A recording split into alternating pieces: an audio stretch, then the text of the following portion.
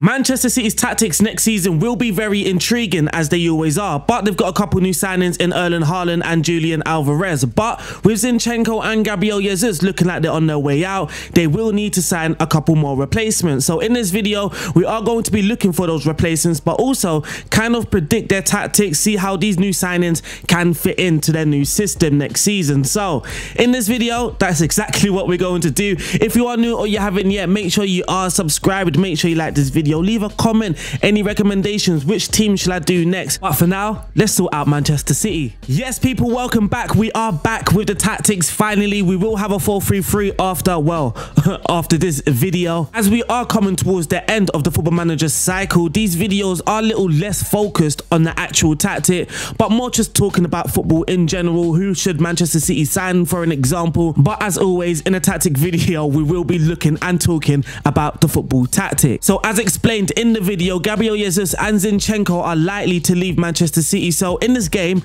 I've moved them. I've kicked them out of Manchester City. Both of them, funnily enough, are at Arsenal. So if we go to Arsenal, let's go to the Arsenal team here. So we see both Zinchenko at Arsenal. They've put him as the attacking midfielder and Gabriel Jesus here as well, who is currently their right winger. And that is because they've actually signed Edison. Wow, this is a very, very dangerous Arsenal team this year. But he's not the only person to leave. Raheem Sterling is also rumoured to leave Manchester City. Now, we didn't necessarily have to find a replacement for Raheem Sterling, mainly because Julian Alvarez is already there. The two positions that we are actually looking to replace is the left back for Zinchenko, but also a holding midfielder as now Fernandinho is gone and Calvin Phillips has been rumoured to join Manchester City. Those have been our outgoings, Raheem Sterling, Gabriel Jesus and Zinchenko. But who do we sign? Now, Manchester City is heavily linked with Calvin Phillips. They might not get Calvin Phillips, so I did find one alternative for Calvin Phillips, and similar with Marc Cucurella as well.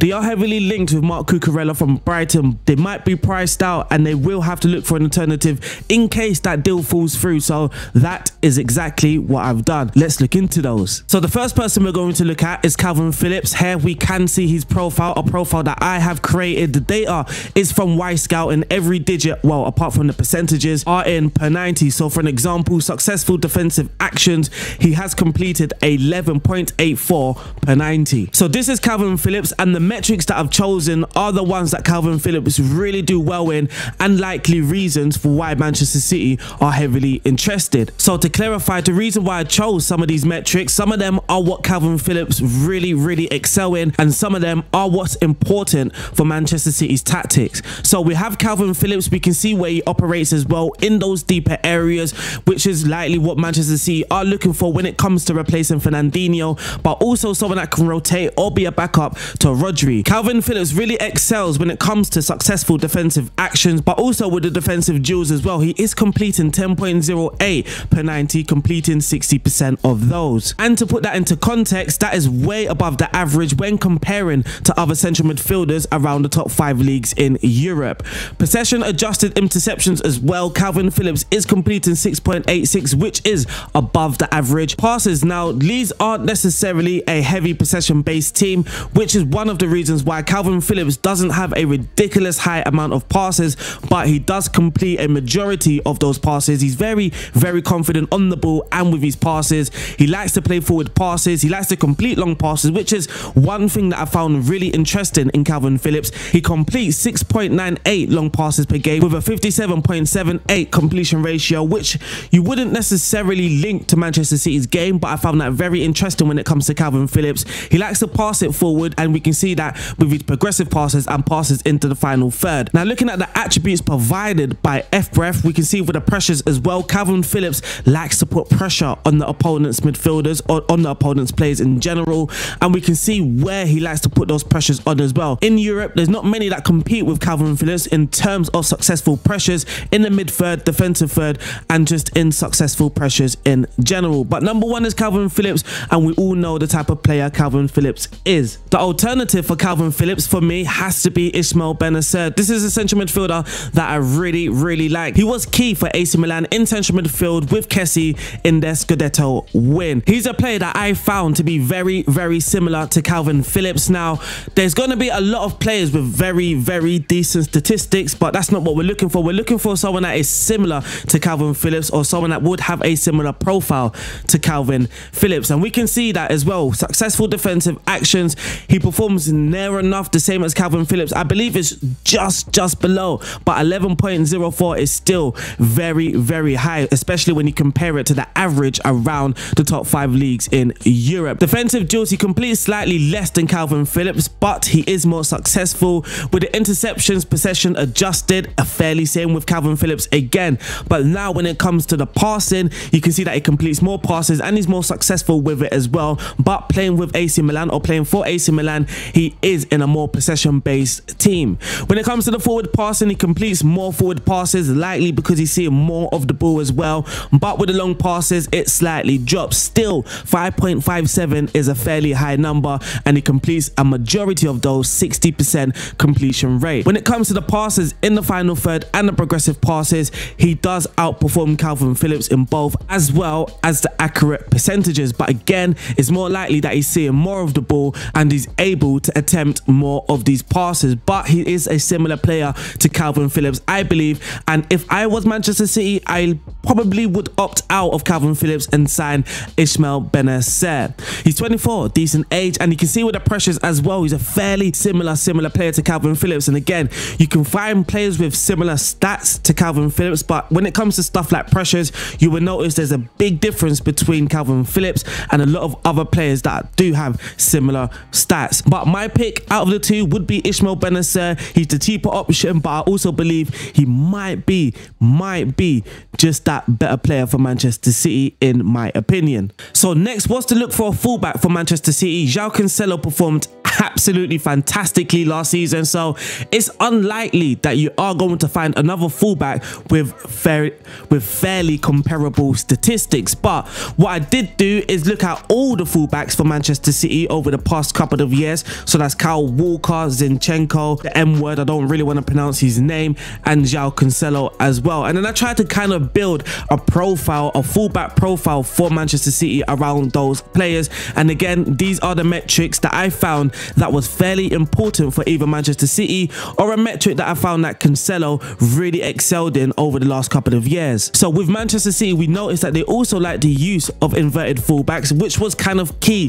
when looking for a fullback as well. They have to have some sort of experience as playing as an inverted fullback or just me believing that player is good enough to play in that role. So what we can see here, successful defensive actions, what I should have done is put some of these in green in the areas that he really excels in. But again, it's very unlikely that you're going to find a fullback that is comparable with João Cancelo. Successful defensive actions, he completes 8 per 90. Defensive duels, 6.57 per 90, and he's fairly successful with that.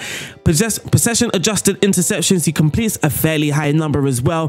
Passes into the final third is an area where he really, really excelled, and it wasn't a fullback even comparable, not even remotely. Forward passes similar as well, but then again, João Cancelo did complete the most passes in the Premier League and in the top five leagues in Europe, if I am correct. Crosses 3.99. Now take note of this because 3.99 is actually fairly high when comparing with other fullbacks across the top five leagues in Europe, but also it's fairly high for someone that is playing as an inverted wingback. So you can see that Manchester City's fullbacks aren't strictly there to invert. They can also go out wide wide and put some crosses in. Now, crosses doesn't necessarily mean just running down the pylon and whipping the ball in, but João Cancelo doesn't always just cut inside. He does have the opportunity or the license to run on the outside as well.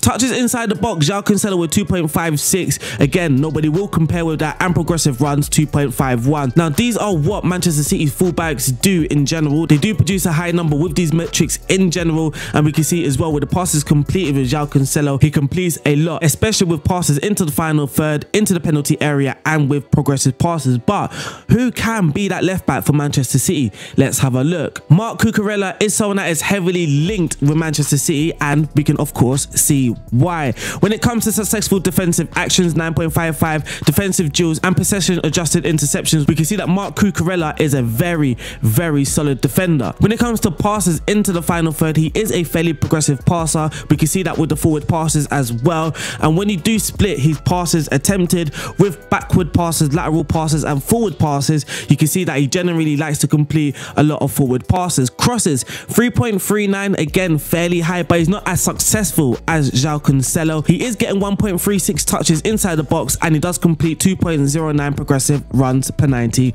as well. Now one must note Marc Cucurella did play some games as the left sided centre back in a back three as well so some of these stats can be affected because of that.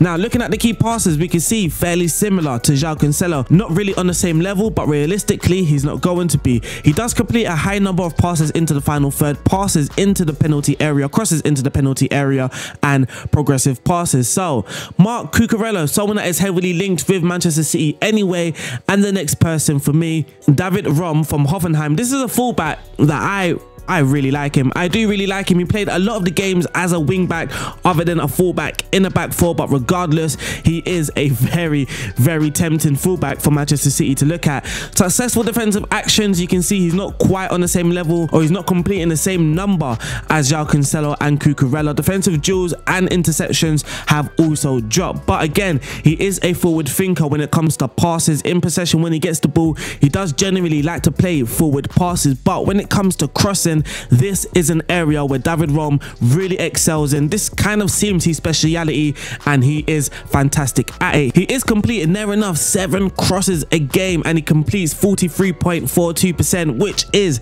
a fairly high number, very high number in fact. And we can see with his passing stats here as well. And we can see with his passing attributes from FBref as well, very, very similar to João Cancelo. Just look at the passes into the penalty area and the crosses into the penalty area. Nobody compares. He, also plays a very high number of key passes and you can see just at the top there, passes completed long. He is completing a lot and also attempts a lot as well, which isn't necessarily part of Manchester City's game, but I did find that fairly intriguing. He is also getting a very decent number of touches into the box, 1.92 and progressive one and progressive runs at 1.68. So he's not as progressive with his runs as João Cancelo, but he does like to get further forward as we can see from his heat map as well.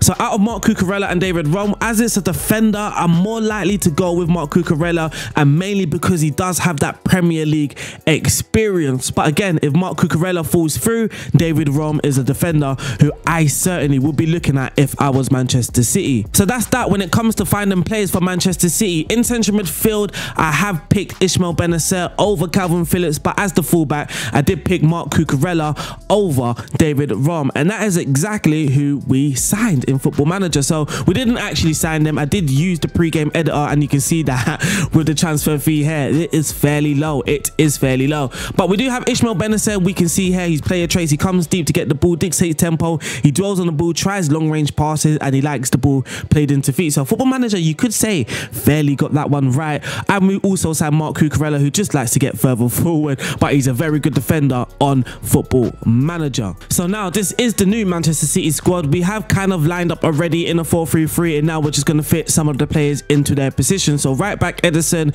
Now we've got a new left back. We can put João Cancelo as the right back. Dias as the right centre back. Laporte.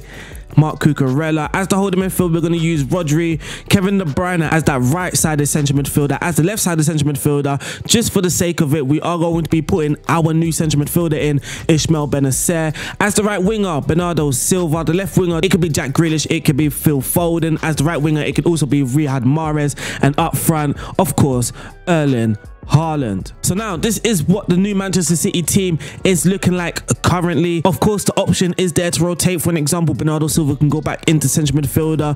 Bennacer can just put himself on the bench, I guess.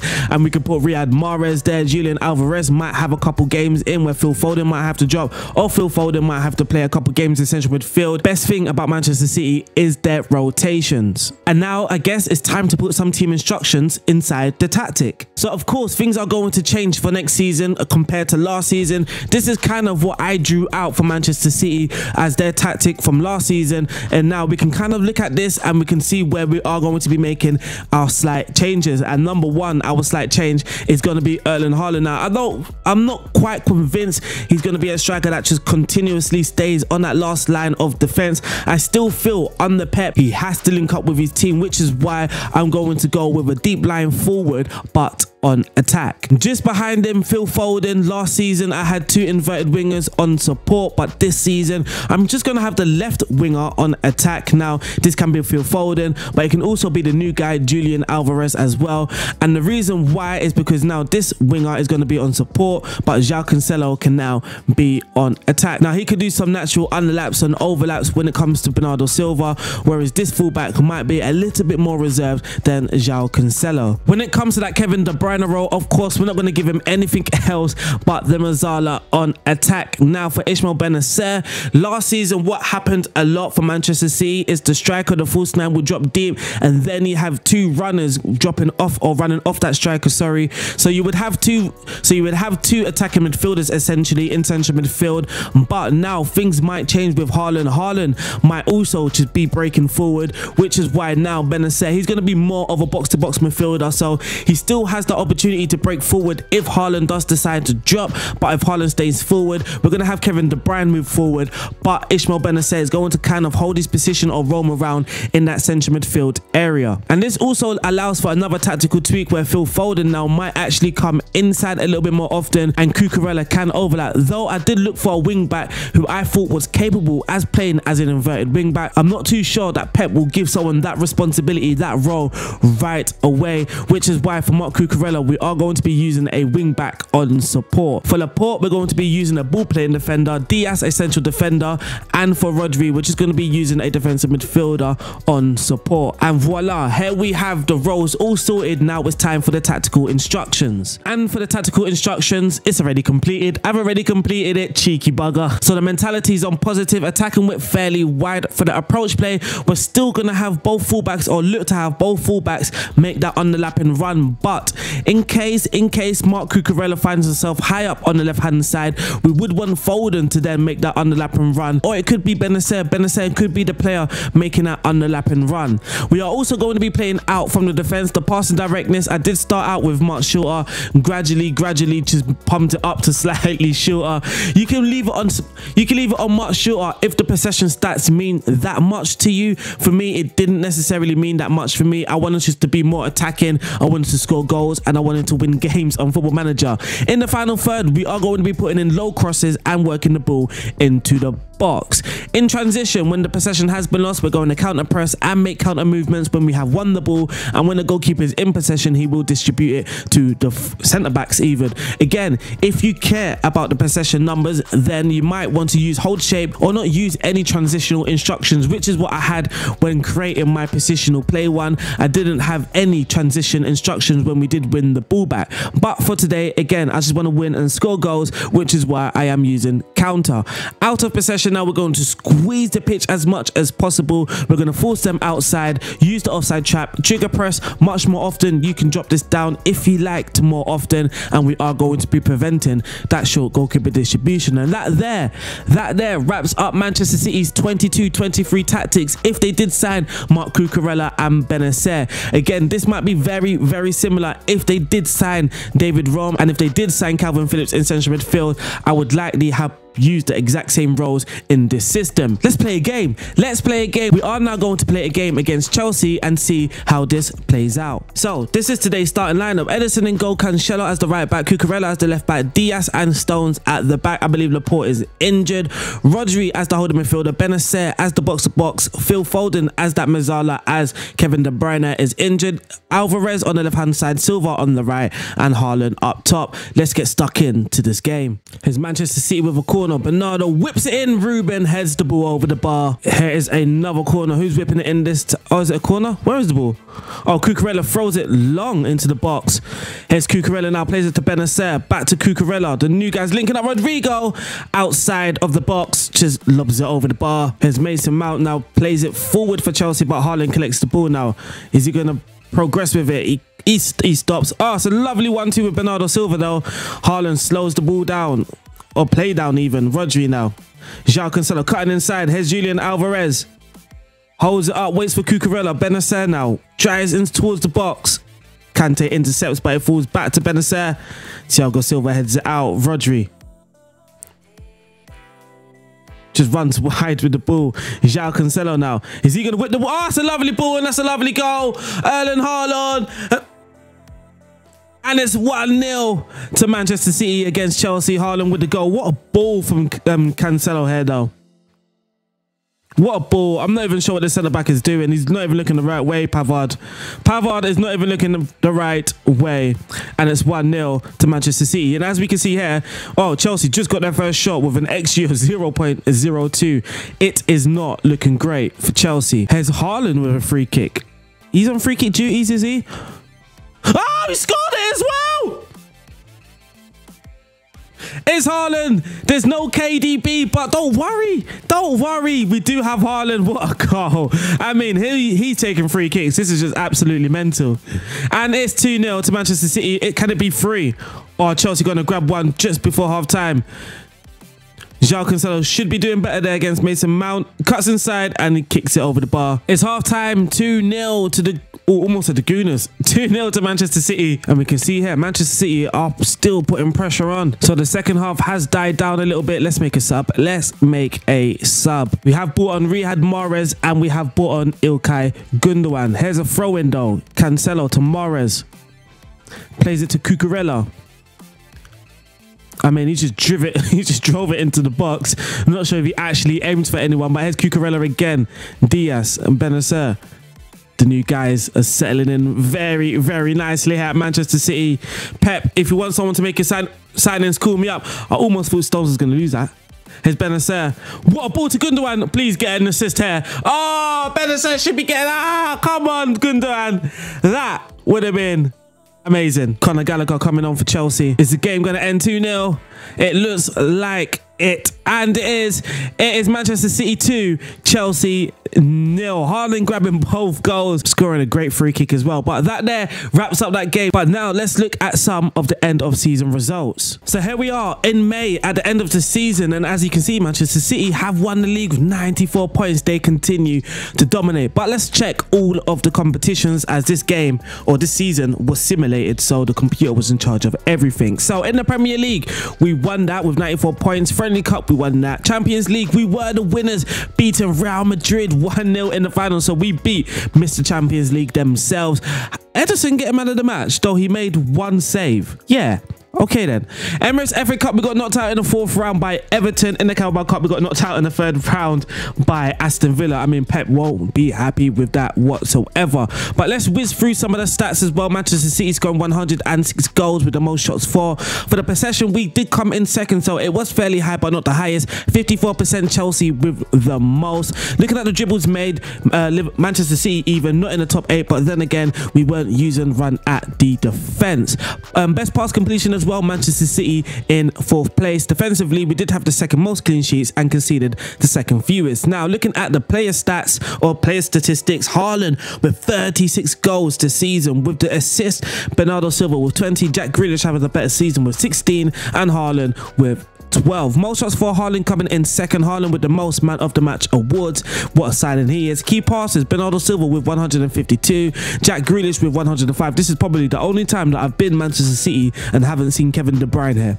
Best pass completion, Ruben Dias and Laporte in the top 8. Most tackles won, Cancelo is in the top 8. Most dribbles made, Kyle Walker is in 7th place with 83. Most dribbles, uh, most clean sheets, Ederson joined with Alisson on 21. And for the fewest conceded, Ederson drops down into fifth place with 26. Lastly, before we end the video, let's see how the team performed, well, as a team. Haaland with 50 goals in all comps, De Bruyne with 22 and Jack Grealish with 11. The only three players that hit double figures with goals. Looking at the assists, Bernardo Silva with 27, Grealish with 22, Kevin De Bruyne with 15. What a season for, what a season for Kevin De Bruyne and what a season for Haaland with 14 assists as well. How did the new guys do? Let's just clear this team. It looks ugly so here we are, Marc Cucurella. His average rating throughout the whole season is 6.95, which is fairly average. He got four assists with two goals. Ismael Bennacer, he got an average rating of 6.89. So our new signings aren't actually doing fantastically well here. He did only play 15 games with one, or he started 15 games with one goal, one assist. So those are the two guys that we signed. Haaland is a Pep Guardiola signing with 7.76 average rating. Julian Alvarez with a 6.93 average rating, though he only started nine games, getting three goals and three assists. But unfortunately, that wraps up this video. I hope you guys have enjoyed it. I'll see you guys soon. Stay safe. Peace out. And also let me know in the comments If you want to see more of this, don't forget to like, subscribe, and leave a comment. See you guys later.